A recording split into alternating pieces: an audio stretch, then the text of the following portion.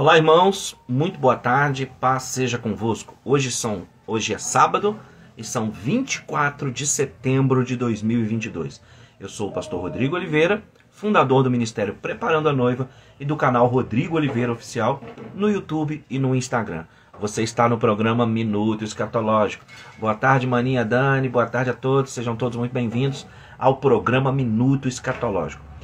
Um programa que vai ao ar na hora do almoço, onde eu trago aqui reflexões sobre o Apocalipse, sobre a escatologia, o fim dos tempos e as coisas que estão acontecendo. Gostaria de lembrar aos irmãos que eu criei uma playlist no YouTube com o tema Minuto Escatológico. Dessa forma, todos os programas Minuto Escatológico estão uh, nessa playlist do Minuto Escatológico. A Dani, minha maninha aqui, a pastora Daniele, está me pedindo para falar sobre o ano do Shemitah. Eu fiz uma live sobre o ano do Shemitah. Eu vou colocar o link dela disponível nos stories daqui a pouco e também num Reels que eu vou fazer. Então, maninha, já fiz uma live sobre o ano do Shemitah e uma live sobre a festa das trombetas e o Rosh Hashanah, que é a virada de ano novo que acontece. Hoje é o último dia do ano do Shemitah. Por isso as informações que eu vou trazer aqui na live de hoje são muito importantes e você precisa assistir a live do Shemitah e a live da festa das trombetas e o arrebatamento. Tenho certeza será de muito esclarecimento. Maninha, você não pode deixar de assistir essas duas lives. Vocês que estão assistindo não podem deixar de assistir. Daqui a pouco eu vou botá-las nos stories, mas estão também no YouTube na playlist de Israel e as profecias. Muito bem, queria ler com vocês Mateus capítulo é, 24, versículo 21, é, que diz assim: Mateus capítulo 4, 24 Vou enviar os links, maninha, deixa comigo. Mateus capítulo 24, versículo 21, diz assim: Porque neste tempo haverá grande tribulação, como desde o princípio do mundo até agora não tem havido e nem haverá jamais. É, esse versículo de Mateus 24, 21, ele fala diretamente da grande tribulação. Né? Olha aí, Mateus 24, 21. Porque neste tempo haverá grande tribulação, como desde o princípio do mundo até agora não tem havido e nem haverá jamais. Quando se fala nessa tribulação do Apocalipse, essa aqui é a tribulação de sete anos do Apocalipse, né? Aquilo que compreende os capítulos 6 até o 19 do livro do Apocalipse.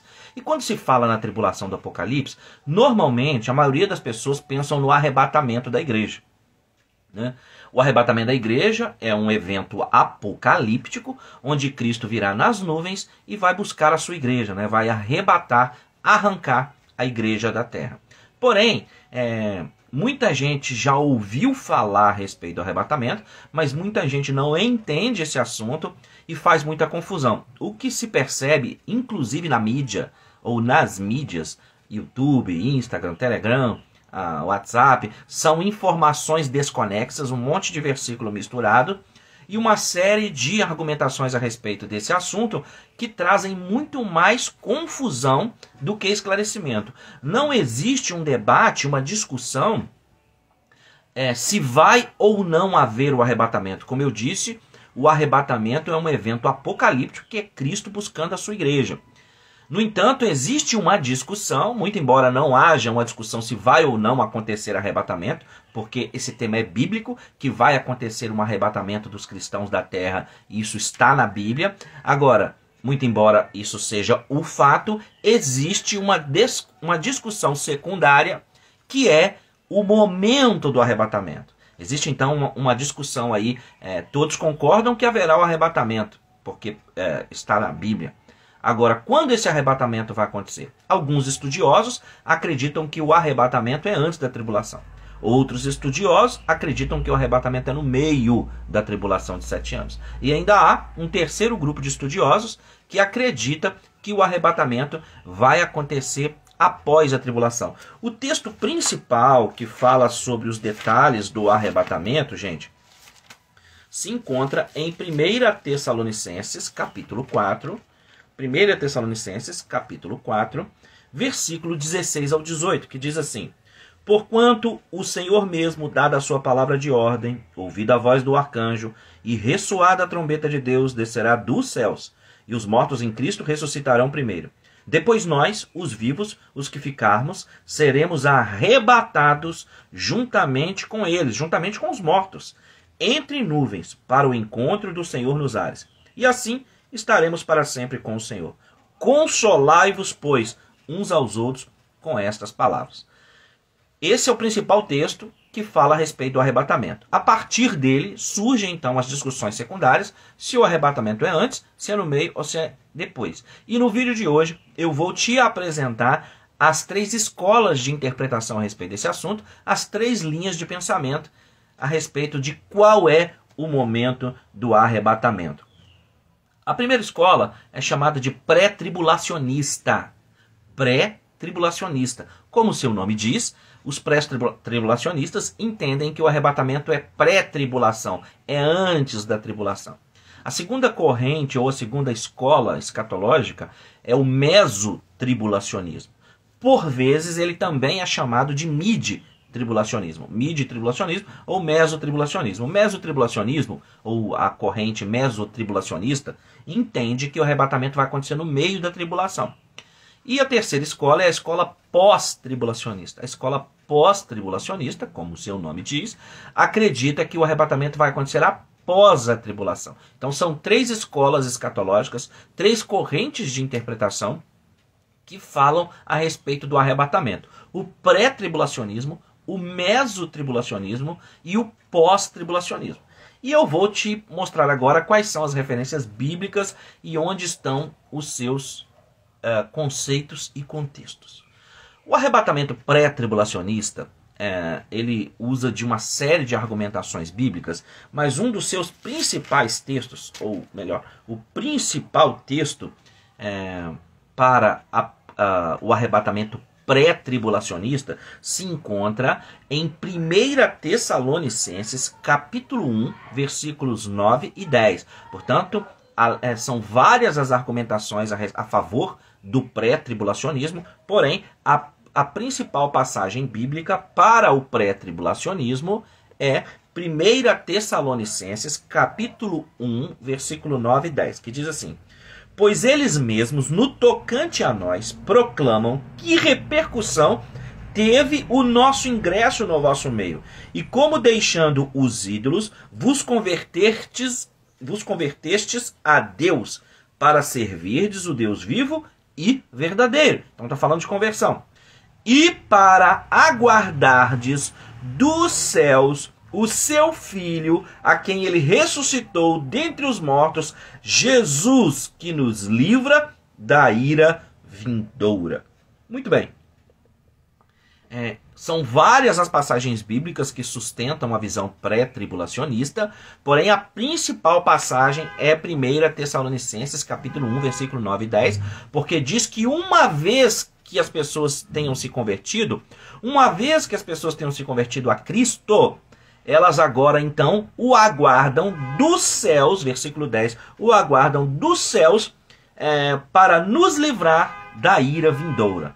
Diante dessa questão, irmãos, é, fica é, a argumentação pré-tribulacionista baseada em 1 Tessalonicenses 1, 9 e 10, porque a tribulação de Apocalipse, de que nós lemos no início desse vídeo do programa Minutos Catológicos, de Mateus 24 21, que diz que ah, então é chegada a grande tribulação, que nunca houve um tempo igual, nem tampouco haverá, ela é também a ira de Deus e do Cordeiro, e eu vou mostrar isso para você hoje dentro da argumentação pré-tribulacionista. Por isso, que o pré-tribulacionismo usa como principal passagem 1 Tessalonicenses 1, 9 e 10, porque diz que uma vez convertido a Cristo, este mesmo Cristo Jesus virá nos céus para nos livrar da ira futura. E essa ira, gente, ela é a tribulação do Apocalipse, eu mostro para você, eu vou provar para você, em Apocalipse capítulo 6, versículos 16 e 17, que diz assim: e disseram aos montes e aos rochedos: Caí sobre nós e escondei-nos da face daquele que se assenta no trono e da ira do cordeiro. Porque chegou o grande dia da ira deles. E quem é que pode suster-se? Então, Apocalipse, capítulo 6, versículo 17 e 8, 17, uh, desculpe, capítulo 6, versículo 16 e 17, falam claramente que a ira de Deus e do Cordeiro é o período da tribulação. Essa passagem se encontra aqui nos selos do Apocalipse, ainda nos selos do Apocalipse, ou seja, a ira de Deus e do Cordeiro ela não é um evento que vai acontecer depois da grande tribulação. A ira de Deus e do Cordeiro não é algo que vai acontecer depois do Apocalipse. A ira de Deus e do Cordeiro é aquilo que acontece por ocasião da abertura dos sete selos, do toque das sete trombetas e do derramar das taças da ira de Deus. Eu continuo a provar para você. Apocalipse capítulo é, 15, versículo 7. Apocalipse capítulo 15, versículo 7. Então, um dos quatro seres viventes deu aos sete anjos sete taças de ouro, cheias da ira de Deus, que vive pelos séculos dos séculos. Apocalipse capítulo 16, versículo 1. Ouvi vinda do santuário uma grande voz dizendo aos sete anjos: Ide derramai pela terra as sete taças da ira de Deus. Saiu, pois, o primeiro anjo e derramou a sua taça pela terra, e os homens portadores da marca da besta e adoradores da sua imagem sofreram úlceras malignas e perniciosas. Ou seja, uma pessoa querer argumentar que a ira de Deus e do Cordeiro não são o período do Apocalipse, do capítulo 6 ao 19, argumentar que a grande tribulação do Apocalipse não é a ira de Deus do Cordeiro, essa pessoa está completamente fora da Bíblia. Então, e não são só essas passagens, não. Para que você saiba disso, eu gravei uma live inteira explicando o que é a ira de Deus do Cordeiro e mostrando todas as passagens bíblicas onde a tribulação do Apocalipse é chamada de ira de Deus do Cordeiro. É chamada em Lucas, é chamada em Sofonias, é chamada em Daniel, é chamada no Apocalipse, é chamada em Tessalonicenses, é chamada em Romanos. Então, irmãos, o estudo que demonstra uh, que a ira de Deus e do Cordeiro é a mesma coisa que a grande tribulação, ele é altamente bíblico. Quem discorda disso está fora da Bíblia. É, você pode depois assistir essa minha live, A Ira de Deus do Cordeiro, porque assim como na de hoje, eu vou fazendo exposições bíblicas demonstrando que a ira de Deus e do Cordeiro é a tribulação do Apocalipse. A ira de Deus é derramada sobre quem rejeitou a Cristo, sobre quem rejeitou o Evangelho. Portanto, não é possível que a igreja esteja no arrebatamento, porque 1 Tessalonicenses 1, 9 e 10 diz que uma. Eu acabei de ler para vocês, diz que uma vez que nós tenhamos nos convertido a Cristo, nós seremos por ele salvos da ira. Portanto, das três escolas de interpretação, aquela que conta com maior apoio bíblico, com maior argumentação bíblica, é o pré-tribulacionismo. O mesotribulacionismo, gente, que acredita que o arrebatamento é no meio, ele costuma fazer isso e é muito interessante a argumentação e vai nos ajudar a compreender ainda mais o pré-tribulacionismo.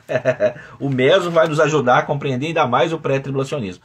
Porque o mesotribulacionismo, gente, ou a, a escola mesotribulacionista, ela acredita assim como nós, que a ira de Deus vai ser derramada na tribulação. Porém, o mesotribulacionista ou os mesotribulacionistas acreditam que a ira de Deus não sejam os sete anos, mas sejam a segunda metade da tribulação. Então, para eles, quando o texto de Mateus, capítulo 24, versículo 15 ao 21 dizem assim: quando, pois, virdes o abominável da desolação de que falou o profeta Daniel no lugar santo, quem lê que entenda, é, com base nessa argumentação do versículo 15, os mesotribulacionistas acreditam que então a profanação e o romper da aliança acontece no meio dos sete anos da tribulação, e isso está correto, está de acordo com Daniel 9,27, porém há um erro aqui na argumentação. Então ele diz: Quando, pois, virdes o abominável da desolação de que falou o profeta Daniel no lugar santo, quem lê que entenda, então os que estiverem na Judéia fujam para os montes. Quem estiver sobre o eirado, não desça a tirar de casa alguma coisa. E quem estiver no campo, não volte atrás para buscar a sua capa. Ai das que estiverem grávidas e das que amamentarem naqueles dias. Orai para que a vossa fuga não se dê no inverno nem no sábado, porque nesse tempo haverá grande tribulação, como desde o princípio do mundo até agora não tem havido nem haverá jamais. Muito bem, a argumentação mesotribulacionista, ela se dá prioritariamente no versículo 15 e no versículo 21.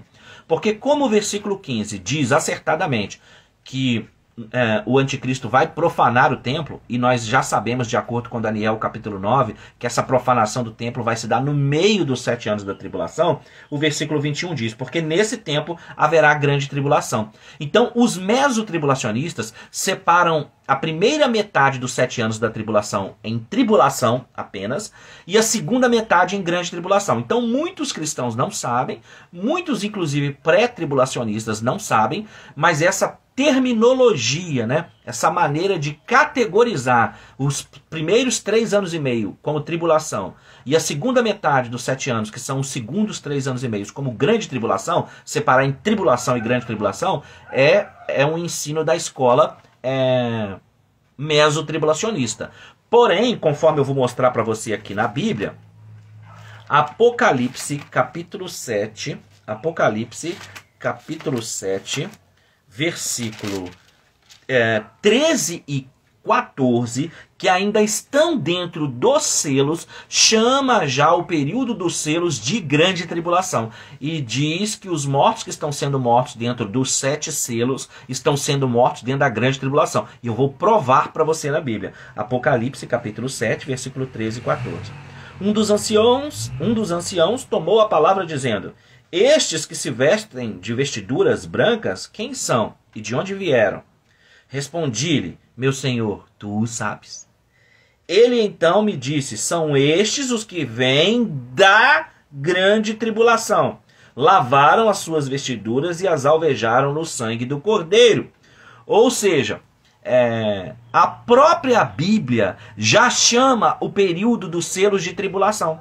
Então, além dos versículos que eu li para você agora há pouco, é, que sustentam o pré-tribulacionismo, que são Apocalipse 6, 16, 17, Apocalipse 15, Apocalipse 16, que já demonstram que os selos já são a ira de Deus do Cordeiro, por isso ele nos livrará da ira, então ele nos, livrará dos selos, das trombetas e das taças. Porque, de acordo com o que eu li agora há pouco, os próprios selos já são a ira. E, e agora, para desmontar essa argumentação mesotribulacionista, que separa a primeira metade dos três anos e meio como tribulação e a segunda metade como grande tribulação, e que então é, Cristo vai nos livrar da ira, porque a ira seria só a segunda metade, porque só a segunda metade é grande tribulação, ela não se sustenta biblicamente porque em, é, em Apocalipse 6 e Apocalipse 15 e Apocalipse 16 demonstram que já a partir dos selos, a ira de Deus e do Cordeiro é derramada sobre a terra. E para aqueles que acreditam que a segunda metade é que é a grande tribulação e que a primeira metade não é a tribulação, está aqui a resposta bíblica de que isso não é verdade. O versículo 14 está dizendo que os mortos nos selos Aqueles que estão morrendo nos selos ele, e não aceitaram a marca da besta e agora estão com vestiduras brancas, é, eles vieram da grande tribulação. Então isso é muito importante, porque a grande tribulação não é só a segunda metade é, dos sete anos, como muitas pessoas pensam, inclusive como muitos pré-tribulacionistas acham, só que acham isso é, sem saber que é uma, um pensamento mesotribulacionista. E que o mesotribulacionismo, o mesotribulacionismo, gente, faz isso por causa dessa passagem aqui, de Mateus 24, 15 e 21, já que o 15 fala da profanação e o 21 fala que neste tempo haverá é, tribulação. Mas existe um erro de interpretação aqui, é, de contexto, tá? Quando Mateus 24, 21 diz que nesse tempo, porque neste tempo haverá grande tribulação, como não houve desde o início do mundo, nem tampouco haverá, ele não está se referindo somente ao período que o anticristo profanar o templo no versículo 15, não. Porque neste tempo, gente, é a questão de português de interpretação. Porque neste tempo é o tempo das profecias de Mateus 24 e não somente o tempo da profanação do templo no meio dos sete anos. Ah, agora eu entendi. Tá percebendo? Então, quando Mateus 24, 21 diz, porque nesse tempo haverá grande tribulação, não é nesse tempo na hora que o anticristo estiver profanado no meio dos sete anos. É nesse tempo do sermão escatológico. É nesse tempo de Mateus 24. É nesse tempo do discurso de Jesus é, no, no, Monte das Oliveiras de Mateus 24. E não necessariamente só no período que o anticristo profanou o templo.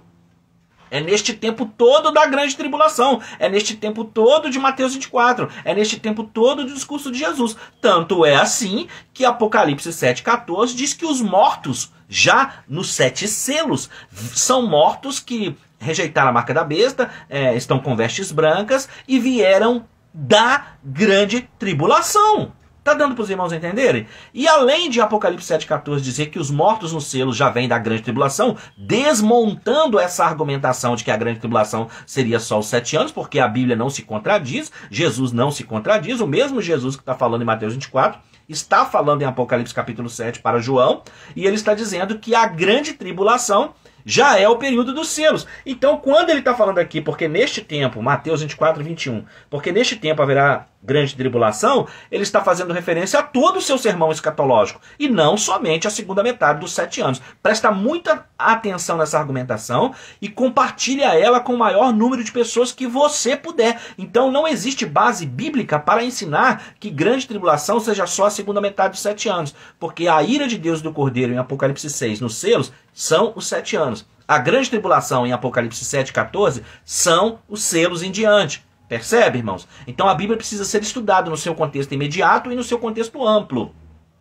Né? Eu sou professor de hermenêutica da minha maninha, a pastora Daniele, que está aqui comentando excelente explicação, e eu falo muito isso em sala de aula. Nós vamos retomar as nossas aulas presenciais em Cataguás. E eu sempre digo o seguinte: texto fora do contexto é pretexto para criar heresia. Você tem que analisar as passagens dentro do seu contexto imediato e dentro do seu contexto amplo. Contexto imediato são os versículos que vêm antes e os versículos que vêm depois. Contexto amplo é o capítulo inteiro, às vezes mais de um capítulo, e às vezes comparar livro com livro. E isso é contexto imediato e contexto amplo. Então, quando você estuda o contexto imediato e quando você pode aprender de fato escatologia com quem estuda, você descobre o que são as argumentações do pré-tribulacionismo, o que são as argumentações do mesotribulacionismo e, a, e o que são as argumentações do pós-tribulacionismo. No mesotribulacionismo, então, por causa de uma leitura do versículo 15 e do versículo 21 que diz que neste tempo haverá grande tribulação, supõe-se que neste tempo seja o tempo da profanação. Mas o discurso de Jesus, presta muita atenção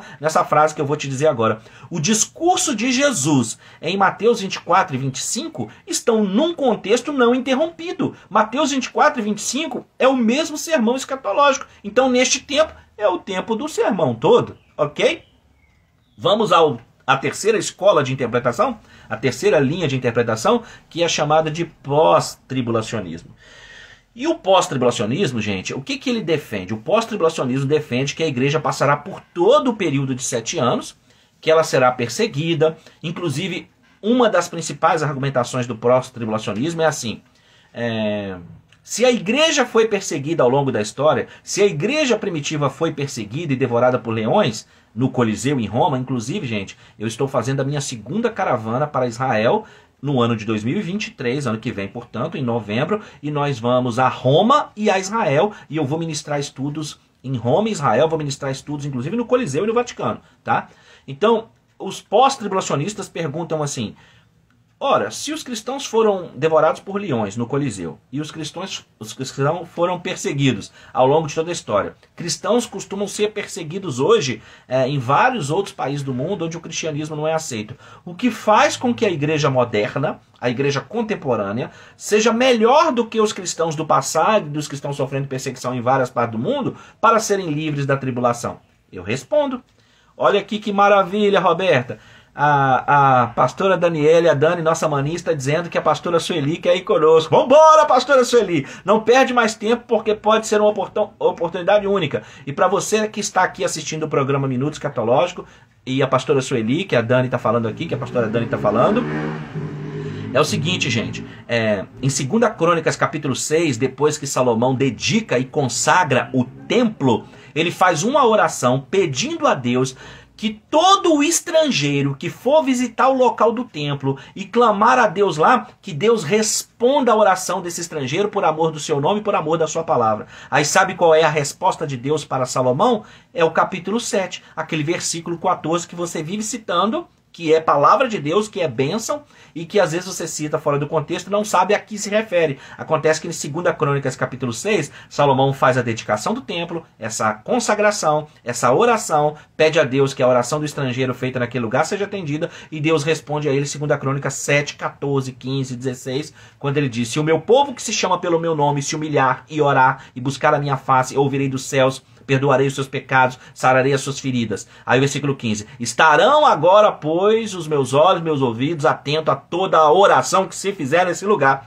Então a resposta de Deus a Salomão é que ele vai responder sim à oração de todo estrangeiro que for ao local do, ao local do templo, orar por amor a Deus, por amor à sua palavra. Então tem gente que fala assim: por que esse misticismo de ir para o templo, para o local do templo? Por que esse, essa ideia de ir para Jerusalém orar? É porque é Bíblia, é porque Salomão pediu a Deus para responder a oração desse estrangeiro que for fazer lá naquele lugar. E Deus disse que ouve e vai atender a oração desse estrangeiro feito lá. Por isso que eu levei o nome de todos vocês e coloquei lá no muro das lamentações, né? É muito forte, não é, irmãos? É coisa tremenda. Conta isso aí para a pastora Sueli, Dani.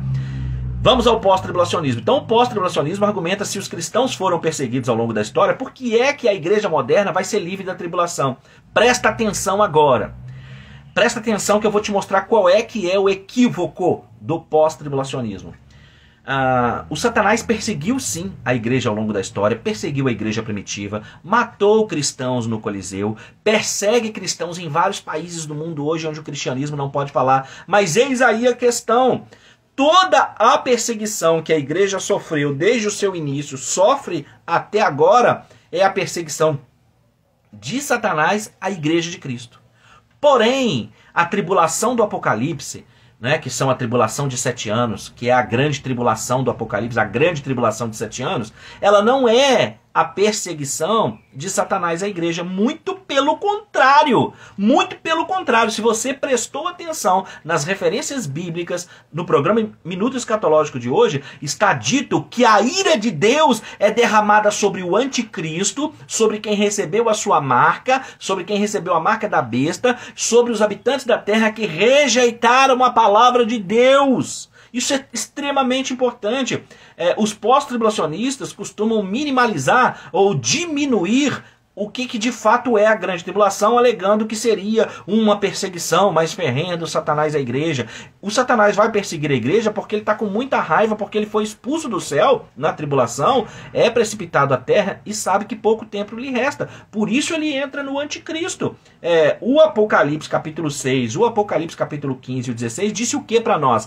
Que a grande tribulação é a ira de Deus e do Cordeiro. Por, por isso os homens fugirão, de, dizendo: Caí, montanha montanhas e rochas sobre nós, e livrai-nos da ira de Deus e do Cordeiro. Então, o erro do principal erro do pós-tribulacionismo é acreditar que a tribulação de sete anos do Apocalipse, ou a grande tribulação, seja um período de uma perseguição intensa do Satanás. Que o Satanás vai continuar perseguindo a igreja que o Satanás vai continuar perseguindo Israel, vai conseguir, vai continuar perseguindo os judeus, vai continuar perseguindo aqueles que vierem a crer na palavra de Deus dentro da tribulação, ele vai perseguir, ele não vai perseguir a igreja porque a igreja não vai estar aqui, porque de acordo com o que nós aprendemos hoje, a igreja será, será livre antes da ira, e a ira são os sete anos, os sete selos, sete trombetas e as sete taças. Portanto, na tribulação, o anticristo vai perseguir os judeus. O texto de Apocalipse 12 disse isso, ele vai perseguir aqueles que guardam os mandamentos de Deus e vai perseguir quem vier a crer no Cristo dentro da tribulação. Então, é, além da perseguição do Satanás dentro da tribulação, serão abertos os sete selos, tocadas as sete trombetas uh, e derramadas as sete taças da ira de Deus. Irmãos, todos estão pedindo para essa live ficar salva. Irmãos, é, esse é o programa Minuto Escatológico. Esse programa sempre fica salvo aqui no Instagram e também fica salvo no YouTube, no canal Rodrigo Oliveira Oficial, na playlist que leva o mesmo nome. Você entra no YouTube, Rodrigo Oliveira Oficial, vai lá e clica em playlist e aí vai aparecer lá várias playlists que eu tenho. Você procura a playlist Minuto Escatológico. E todos os programas Minuto Escatológico que eu fiz vão estar na ordem. Esse aqui, por exemplo, vai aparecer no final, porque ele é o de hoje, é o último programa até então. Então vai ficar salvo assim. Aqui no Instagram e vai ficar salva no YouTube, canal Rodrigo Oliveira Oficial, na playlist Minutos Catológico. Olha, os programas Minutos Catológicos são um mais profundo que o outro. Vocês precisam divulgar esse programa Minutos Catológico porque ele é evangelístico. Então, o pós-tribulacionismo ou a escola pós-tribulacionista está completamente enganada quando ela tenta comparar o período da tribulação às perseguições que Satanás já infligiu aos cristãos ou a Israel ao longo da história. Porque Mateus 24, 21 disse porque neste tempo haverá grande tribulação, como desde o princípio do mundo até agora não tem havido e não haverá jamais. Então, gente, o período da tribulação, o período da grande tribulação do Apocalipse, que são sete anos, a grande tribulação são sete anos, é um período que nunca houve igual, nem tampouco haverá. Então, o período da grande tribulação será um período que ninguém vai confundir com as perseguições que Satanás infligiu ao longo da história, porque será um período não somente com a perseguição do Satanás a quem vier a crer na Bíblia, mas como também será o derramar da ira de Deus nessa terra, para que ela passe por uma transformação e uma preparação para o milênio, para o estabelecimento do reino de Cristo na terra. Isso é muito forte. E além das passagens bíblicas que eu mostrei para você, eu provei para você biblicamente que a grande tribulação são sete anos e não somente três anos e meio, e que a ira de Deus não é um acontecimento depois da tribulação, muito menos a segunda metade da tribulação, mas já nos selos é a ira de Deus derramada, porque é além dessas argumentações bíblicas definitivas é, a grande tribulação é também chamada de septuagésima semana de Daniel. A grande, vou repetir, a grande tribulação é também chamada de septuagésima semana de Daniel, ou da semana de número 70. E de acordo com as profecias de Daniel, capítulo 9, é, quanto é que dura uma semana? Como é que é a profecia? Profecia das 70 semanas. Profecia dos 70 setes. Profecia das 70 semanas de sete anos, que equivalem a 490 anos. Já se passaram 483 anos e teve início o chamado parêntese profético. O que, que é parêntese profético, Pastor Rodrigo? É aquilo que Jesus e o apóstolo Paulo chamaram de período da plenitude dos gentios ou dispensação da igreja. Então, quando se passaram 69 semanas de anos, 483 anos, portanto, houve um parêntese profético para que se cumpra o período da plenitude dos gentios, o período de que Jesus e o apóstolo Paulo disseram ah, que Jerusalém seria pisada pelos gentios até que o seu tempo se completasse. Uma vez que acabe a plenitude dos gentios, que acabe o tempo da igreja, isso é mais uma prova de que a igreja não passará pela tribulação. Uma vez que acabe o tempo da igreja, tem início a septuagésima semana de Daniel, ou seja, a semana faltante, a semana restante, que é a grande tribulação, que é a ira de Deus e do Cordeiro, que são os sete anos do Apocalipse. Então a principal argumentação do pós-tribulacionismo já cai por terra aí. Uma segunda argumentação que é importante é, desmistificar ela para você aqui, mostrar a verdade, é que o pós-tribulacionismo argumenta, baseada em Mateus 24, 30 e 31, que o arrebatamento vai acontecer sim no final da tribulação, mas será um grande prazer demonstrar aqui é, que não é isso que a Bíblia diz, porque importa nos saber o que dizem as Escrituras, esse é o grande bordão aqui do meu canal. É, o que dizem as Escrituras? Sempre que alguém me faz uma pergunta, eu devolvo uma pergunta como resposta. Eu digo assim: o que é que dizem as Escrituras. Então eu vou mostrar para vocês que o texto de Mateus 24, 30 e 31, utilizado pelo pós-tribulacionismo para ensinar um arrebatamento no final da tribulação, não se sustenta. Mateus 24, 30 e 31 diz assim: Então aparecerá no céu o sinal do Filho do Homem. Todos os povos da terra se lamentarão e, o e verão o Filho do Homem vindo sobre as nuvens do céu com poder e muita glória.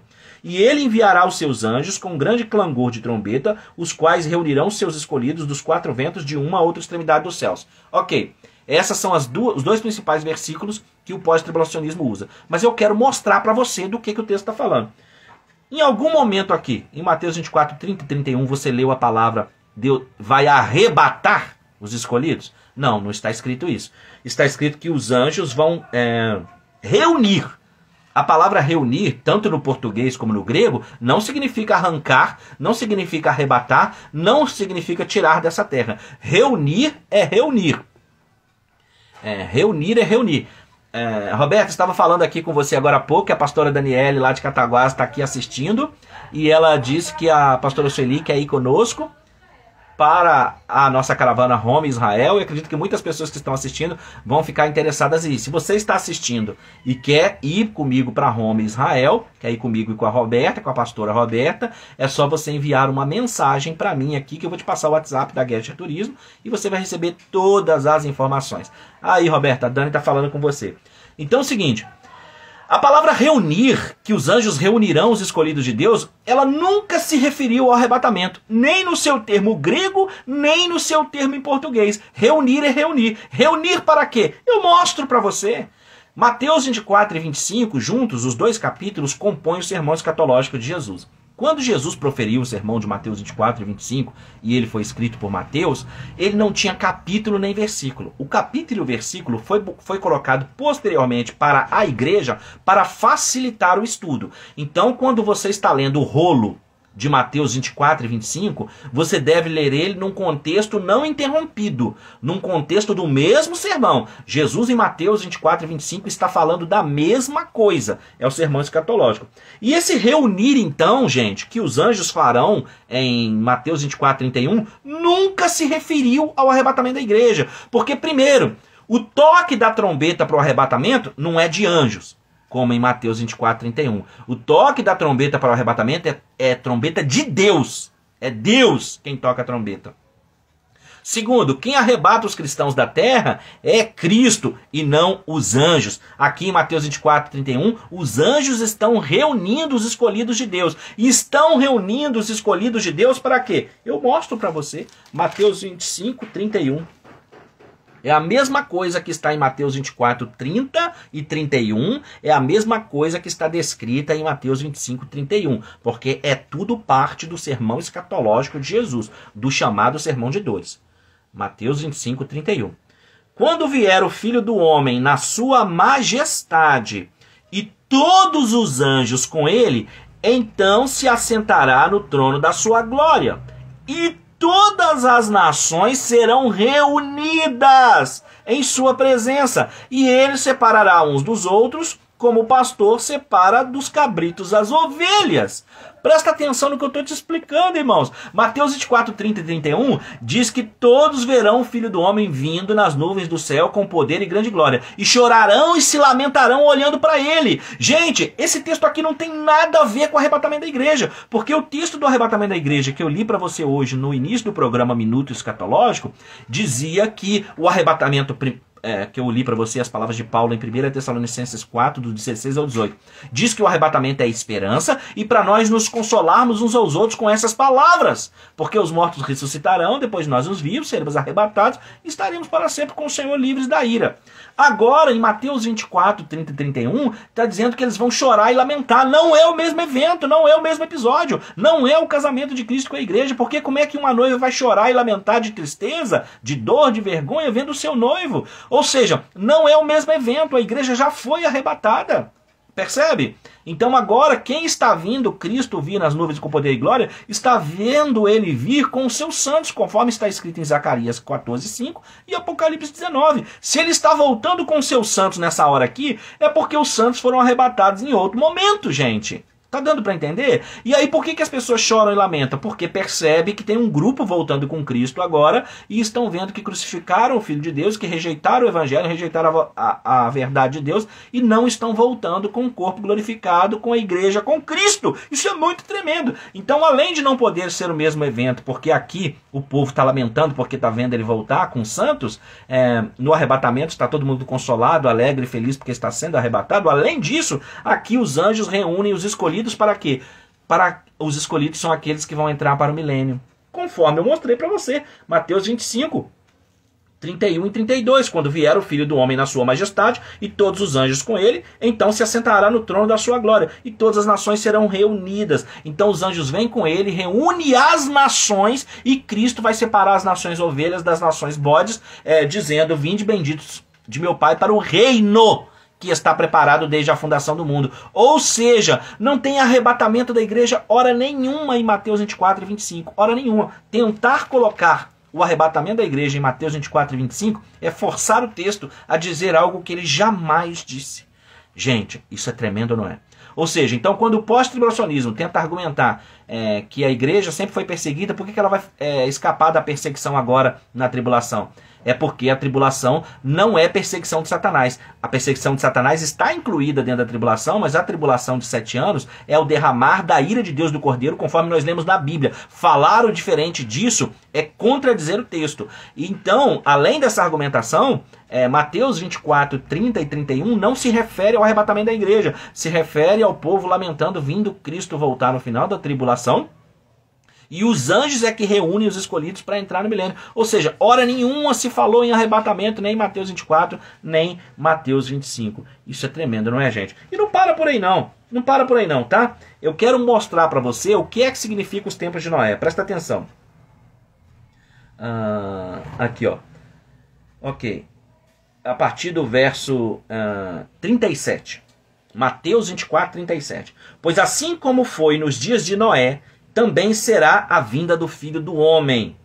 Porquanto, assim como nos dias anteriores ao dilúvio, comiam e bebiam, casavam e davam-se em casamento, até o dia em que Noé entrou na arca, e não o perceberam, senão quando veio o dilúvio e os levou a todos. Assim será também na vinda do filho do homem. Então, dois estarão no campo, um será tomado e deixado o outro, duas estarão trabalhando no moinho. A palavra aqui é paralambano, tá? Que vai ser levado um e deixado o outro, e não a, a palavra arpazô ou a palavra raptare, que é a mesma palavra para arrebatamento. Portanto, é, vigiai, porque não sabeis o dia, a hora em que vem o nosso Senhor. Presta muita atenção nisso que eu vou te explicar aqui agora. É, o que, que aconteceu como nos dias de Noé? Gente, é assim, eu amo nossos irmãos pós-tribulacionistas, mas é preciso ler a escritura com atenção e se perguntar o que dizem as escrituras. Presta atenção no que você está lendo. Quando o texto diz que assim como nos dias de Noé, não é que assim como nos dias de Noé aconteceu o arrebatamento, não. Presta atenção, eu vou ler de novo. Pois assim como foi nos dias de Noé, também será a vinda do filho do homem. Porque assim como nos dias anterior, anteriores ao dilúvio, comiam, bebiam, casavam, davam-se em casamento, até o dia que entrou na, Noé na arca e não o perceberam, senão quando veio o dilúvio e os levou a todos, assim será na vinda do filho do homem. Você prestou atenção na chave interpretativa? Nos dias de Noé, eles entraram na arca e veio o dilúvio e os levou a todos. Ou seja, gente, Jesus não vai se contradizer, não. Em Mateus 24, 30 e 31, ele está dizendo que os anjos vão reunir os escolhidos. E vão reunir para quê? Quando você acaba de ler o capítulo 24 e 25, você está descobrindo que vai reunir os escolhidos para entrar no milênio, não para ser arrebatado, porque quem arrebata a igreja é Cristo. A trombeta é de Deus. Aqui a trombeta é de anjo e os anjos estão reunindo os escolhidos para entrar no milênio. Segundo ponto, assim como nos dias de Noé entraram na arca, veio o dilúvio e os levou a todos. Ou seja, quando ele vai dizer que um estará no campo e o outro trabalhando, um estará na cama, a outra, e ele usa a palavra paralambano e não a palavra raptare, raptus ou arpazô, para dizer daquele que vai ser arrancado, não é um arrancado para a esperança, não é um arrancado para a ressurreição, não é um arrancado para corpo glorificado, não é nada disso, é um arrancado para o fogo eterno. É isso que dizem as escrituras. A Bíblia diz que o ímpio vai ser arrancado da terra para que o milênio se estabeleça para que o reino de Cristo comece na terra. E assim como nos dias de Noé, que entrou na arca e veio o dilúvio e os levou a todos, levou a todos quem? Levou a todos os malvados, levou a todos os malignos. Gente, é só prestar atenção no texto. Não existe arrebatamento da igreja em Mateus 24. Os textos aqui Mateus 24, 30, 31 e 37 em diante, que os pós-tribulacionistas usam para falar que é o arrebatamento, nunca se referiram ao arrebatamento da igreja e jamais vão se referir ao arrebatamento da igreja. É, além de professor das disciplinas de escatologia bíblica, eu sou professor das disciplinas de homilética, que é a arte de pregar, e de hermenêutica, que é a arte de interpretar. E eu costumo sempre dizer aos meus alunos de homilética que uma passagem bíblica, na hora de interpretá-la, ela não pode significar agora algo que ela nunca significou para a época. Por isso você precisa primeiro compreender a mensagem do lá e então. Olha, estou dando aula de hermenêutica aqui. Você precisa compreender a mensagem do lá e então para compreender ela aqui e agora. Então, a mensagem no seu contexto não ensinava arrebatamento da igreja, ensinava o período da tribulação, um período da grande tribulação de sete anos do Apocalipse, que nunca houve tempo igual, nem tampouco haverá. Mas que assim como nos dias de Noé, que entraram na arca, veio o dilúvio e os levou a todos, esse juízo, a saída de Deus virá e lançará todos no lago de fogo. E aqueles que ficarem em Mateus 24 serão aqueles que entrarão no reino bendito é, vinde benditos de meu Pai, entrar no reino, na posse da terra. É só você ler Mateus 24 e 25 no seu contexto, sem trazer coisas para o texto. Na hermenêutica, nós falamos de dois processos. Um é o processo de exegese, com I, e o outro processo é o processo de exegese. Exegese é extrair do texto o que o texto quer dizer. Exegese é colocar no texto aquilo que eu quero dizer. Nós aqui não fazemos exegese, nós fazemos exegese. Nós extraímos do texto o que o texto quer dizer. Então, a arca, a arca é um símbolo muito interessante, a arca de Noé, né? Alguém já disse que ela é um acrônimo, né? Arca, né? A palavra arca, ela na verdade seria cada uma das suas letras, o significado de atitude real de carinho e amor. Esse é o significado da arca. É Deus preservando. O significado da arca é o significado de amor. O significado da arca é graça. O arrebatamento não é mérito. O arrebatamento da igreja antes da grande tribulação o arrebatamento da igreja antes da ira de Deus e do Cordeiro é graça, é favor não merecido, é o amor de Deus por nós. O arrebatamento antes da tribulação é arca, é atitude real de carinho e amor. Glória a Deus por isso, né, irmãos? É para aplaudir de pé, igreja. Compartilhe essa live para que as pessoas sejam abençoadas, aprendam a interpretar as escrituras, irmãos. Então, veja uma outra coisa muito interessante aqui, irmãos, é que eles entram na arca, vem o dilúvio, que é o juízo, vem o dilúvio, que é uma ira de Deus, vem o dilúvio, que é uma cólera de Deus sobre a terra e pega toda a terra. E o que, que acontece com a arca? Ó, o dilúvio vem, né? O dilúvio vem. O que é que acontece com a arca? A arca vem, ó, e fica sobre o dilúvio. Presta atenção que acho que você não entendeu ainda. A arca vem e fica sobre o dilúvio. A arca vem e fica sobre a cólera. A arca vem e fica sobre a ira. A arca vem e é livre da ira de Deus, que é o dilúvio. Então a própria arca, que é a atitude real de carinho e amor, é um símbolo do arrebatamento da igreja.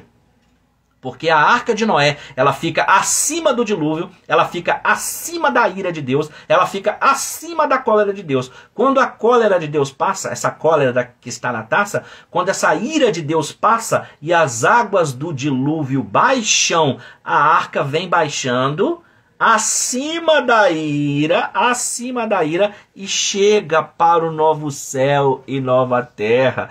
Quando as águas da ira de Deus passam, quando as águas do dilúvio passam, a arca de Noé como um símbolo da igreja, como um símbolo do amor, como um símbolo da graça, como um símbolo da misericórdia, porque a arca de Noé é atitude real de carinho e amor, representando a igreja, as águas da ira baixam, a arca de Noé então paira sobre um novo céu e uma nova terra, e ali começa uma nova aliança com Noé, uma nova aliança com o povo, do qual Deus estabelece o arco celeste no céu, que representa então a sua aliança com a humanidade, estabelecendo então que não destruirá a terra mais com dilúvio, e que os homens possuirão a terra, e ele então confere o mandato espiritual, o mandato social e o mandato cultural. O mandato espiritual é porque fomos feitos à imagem e semelhança de Deus e agora há uma nova aliança a partir de Noé. O mandato social disse ao homem e à mulher ide, é, se juntar em casamento, se ajuntar, e a mulher foi feita como adjutora do homem, ide, sede fecundos, multiplicai-vos e enchei a terra. Mandato social e o mandato cultural. Vão criar obra de arte, vão criar ferramentas, vão criar tudo, vão envolver em todos os meios e levar o nome de Deus a todo lugar. A arca então desce, depois que a ira de Deus passa, e começa então a povoar a terra com mandato eh, espiritual, mandato social, mandato cultural. Gente, isso é um símbolo da ira de Deus passando na tribulação e a arca de Noé chegando então para o milênio, para o novo céu e para a nova terra. Isso é tremendo, isso é Bíblia. Irmãos, nada na vida tem me dado mais prazer do que estudar e ensinar a palavra de Deus está aqui. Peço a vocês que aí estão assistindo o programa Minutos Escatológico que orem pela minha vida, orem pela minha noiva, pastora Roberta, orem aí pelo nosso casamento, orem pelo meu ministério, orem pelas minhas finanças para que Deus levante pessoas-chave, pessoas que vão fazer o patrocínio desse ministério, que vão fazer a manutenção desse ministério, que vão ser dizimistas e ofertantes nesse ministério, que se chama Ministério Preparando a Noiva. Que Deus te abençoe, que Deus te guarde, ativa o sininho no YouTube, comenta, compartilha, irmãos, divulga, faz essa live chegar para o maior número de pessoas possíveis. As pessoas precisam aprender as coisas que estão nessa live do programa Minuto Escatológico de hoje. Compartilha, não retém, não seja mar morto. O mar morto é, é morto porque ele concentra alta é, a densidade de sal. E por que, que isso acontece? Porque ele só recebe. E o Mar da Galileia? O Mar da Galileia tem pescaria, tem peixe, tem vida, porque ele recebe e distribui por sete outros braços. Então não seja mar morto, seja Mar da Galileia. Deixa Deus te usar. Compartilha essa live. Essa live de hoje vai ficar salva em duas playlists no YouTube no canal Rodrigo Oliveira Oficial, na playlist Minuto Escatológico e na playlist do Arrebatamento da Igreja. Compartilha, que Deus te abençoe. Soberano Deus, poderoso Pai. Obrigado, Senhor, por este momento aqui de aprendizado ou de aprendizagem. Obrigado, meu Deus, por esse momento de crescimento, de conhecimento. Abençoa a vida de cada pessoa que está assistindo o programa Minuto Escatológico. Abençoa, meu Deus, aqueles que estão comigo ao vivo, aqueles que já estão assistindo o programa Salvo. Enche eles de graça, de conhecimento e unção. Espírito Santo, faça com que eles venham a se lembrar das palavras que estão ditas nesse programa, de forma a evangelizar as pessoas, de forma a aprender a proteger a si mesmo e aos seus amados espiritualmente, para que o reino do anticristo não os toque. Pai, em nome de Jesus, assim eu oro, coloco a vida dessas pessoas nas tuas mãos, a minha vida, a vida Roberto, meu ministério, para a glória e louvor do teu nome. Amém. Queridos, um beijo, que Deus abençoe. Pastora Sueli, vamos para Roma, Israel conosco. Vamos, Dani. Você que está assistindo aí, vem para Roma, Israel com a gente. Maratonas playlists. Isso vai fazer toda a diferença na sua vida. Até logo, pessoal. Tchau, tchau.